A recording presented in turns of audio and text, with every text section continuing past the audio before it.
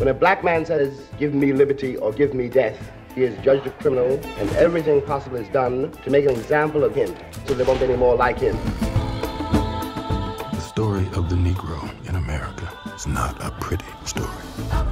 Um, hi, how are you? Hi. So Hi, the you. book, um, Remember This Home, Remember This House is based on the documentary I Am Not Your Negro. Is there any intent on releasing the unfinished book? Well, actually, uh, the book the, uh, is not a book. It's uh, uh, it's uh, basically notes, uh, notes and a few letters. So the the the idea of the film came from the book that was not finished or not even written, and the film is the result of that. It's my attempt to second guess Baldwin and and fabricate that book that would have been a masterpiece, I think, about those three friends: Ma- Medgar Evers, Martin Luther King, and Malcolm X. Awesome, thank you. Um, what is the inspiration behind the title, I Am Not Your Negro? Well, um, we worked uh, for you know six years with the title "Remember This House," but at some point I felt it was uh, it needed too much explanation to to tell all the metaphor that "Remember This House" meant, and and I wanted to to find a title that would match, uh, uh, I would say James Baldwin directness and raw uh, language. And I think the, the, the title I'm Not Your Negro is, is not apologetic and it's direct. It says what the film is without being insulting. Uh, and uh, yeah, and it's uh, raised questions, which is good for the film. Awesome. Um, please tell us about the process for retrieving the images and the videos used in the documentary. Well, I had uh, several archivists uh, working with me uh, uh, along the years. Uh, it, it was a long process, and it was a complicated process because between you know getting the rights, getting the right footage, the right quality, also getting the footage that I need for the text, which was you know the, the primary element, you know the text, uh, the James Baldwin text.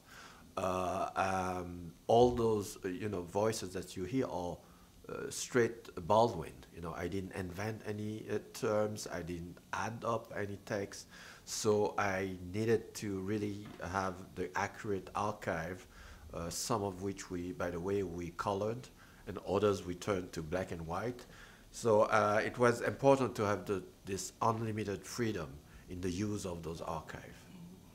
James Baldwin takes a visit to the South with Medgar, and he says that he realizes that he's a witness and there's an actor. Can you tell us about how that witness and actor uh, phrase relates to modern times? Well, uh, it, it's a typical um, issue for artists, in particular when you are en- engaged, politically engaged artists, where you are afraid that your art will become uh, just, you know, pamphlet or journalistic uh, uh, uh, uh, record. And uh, James Baldwin was torn between those two movements, you know, being called all the time for research, for uh, for us to come as a, a witness. And James Baldwin was one of the most famous African American at the time. He had access to newspaper, he had access to TV. So it was important that he can come down to the South and really uh, take back what he was seeing as a, as a witness. And, but at the same time, he was himself uh, a victim of it. He was himself uh, really, uh, um, you know, suffering from it. Uh, so he had to find a place, but I, I think he, he found a way back and forth between those two extreme positions. Uh, and, and finally, he left us, you know, great writings from it. And lastly, why do you think this is important now?